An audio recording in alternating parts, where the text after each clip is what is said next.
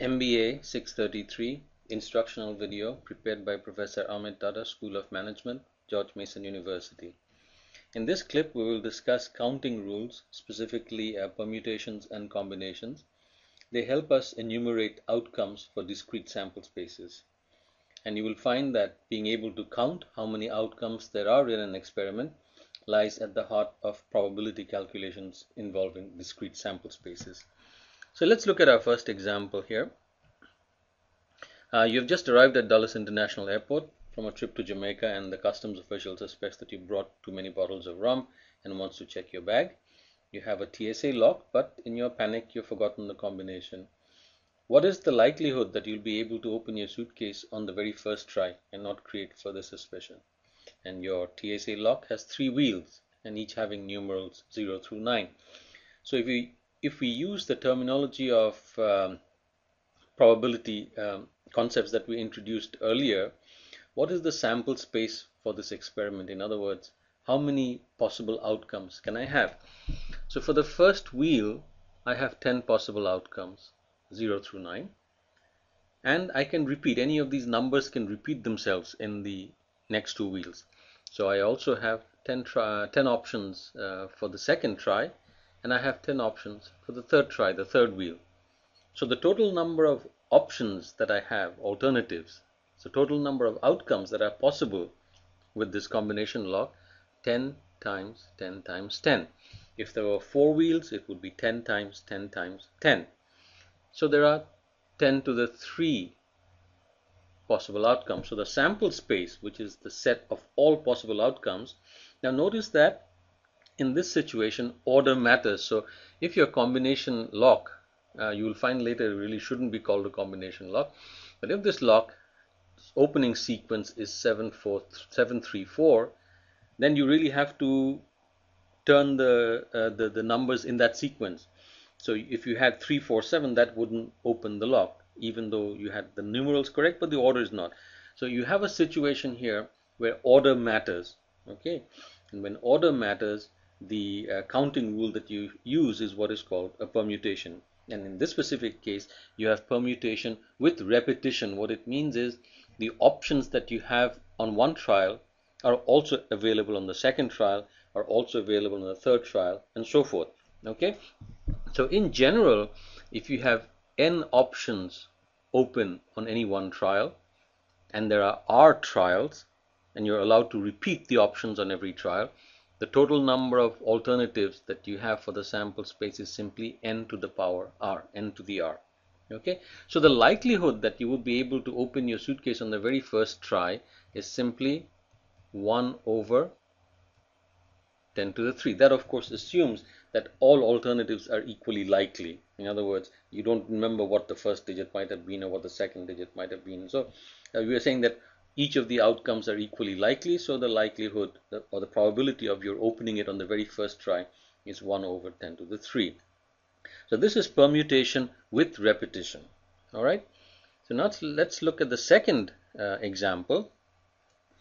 Here we have in a recent swimming competition the countries listed on the left. So we have 1, 2, 3, 4, 5, 6, 7, 8, 9, 10. I think there are 1, 2, 3, 4, 5, 6, 7, 8, 9, 10 countries. So the countries listed on the left competed.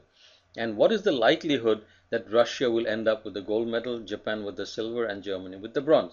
Now, clearly, do you see that the order matters over here? So even if Russia, Japan, and Germany were to win, if Russia ended up with the bronze and Japan with the gold, etc., that's not the same as what we are looking at. So order matters. Also, in this case, Russia cannot get both the gold medal and the silver medal.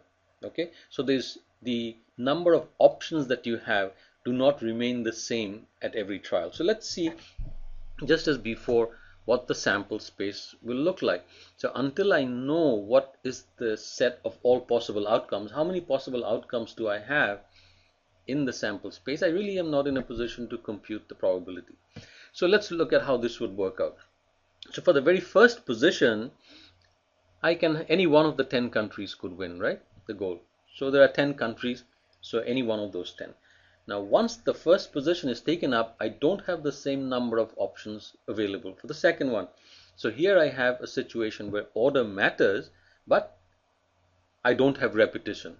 okay so for the second position I only have nine choices and of course for the third option third position I only have eight options available so the total number of alternatives so gold silver bronze sequences of countries that could end up is with is 10 times 9 times 8 and I'm looking for the likelihood that Russia will end up with the gold Japan with the silver and Germany with the bronze only one out of these 720 options represents the sequence that I'm looking for. So my probability is simply 1 over 720. So do you see how important it was to come up with that number 720? So I have 720 dots over here in the sample space, each dot representing a sequence of gold, silver, and bronze. So this is an example of permutation without repetition. All right. Now, mercifully, there is a built-in function in Excel that will do this for us. So let me show you how this works.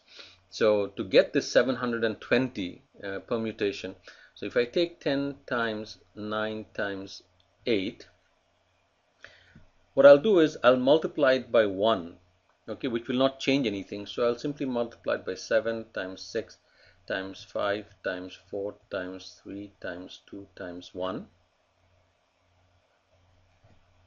and then I'll divide it by the same 7 times 6 times 5 times 4 times 3 times 2 times 1 okay? So here I have uh,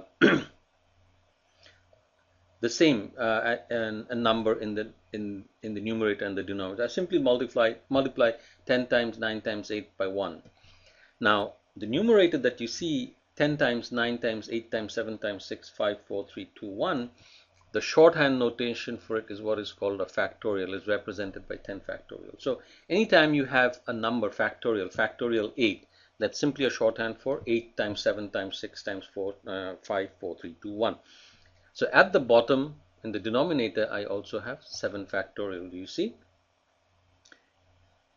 Okay so therefore the permutation that I'm looking for, the, the way we write it is 10p3.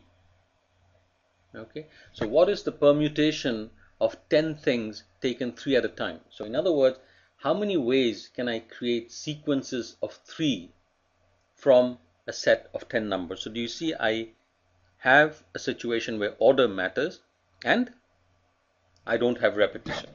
Now there is a built-in function in Excel to do this so will, and that is called perm so let me show you equal to permute and it says okay how many how many do you have total? I have a total of 10 and I'm choosing 3 out of it and I come up with 720 so mercifully you don't have to do this calculation manually.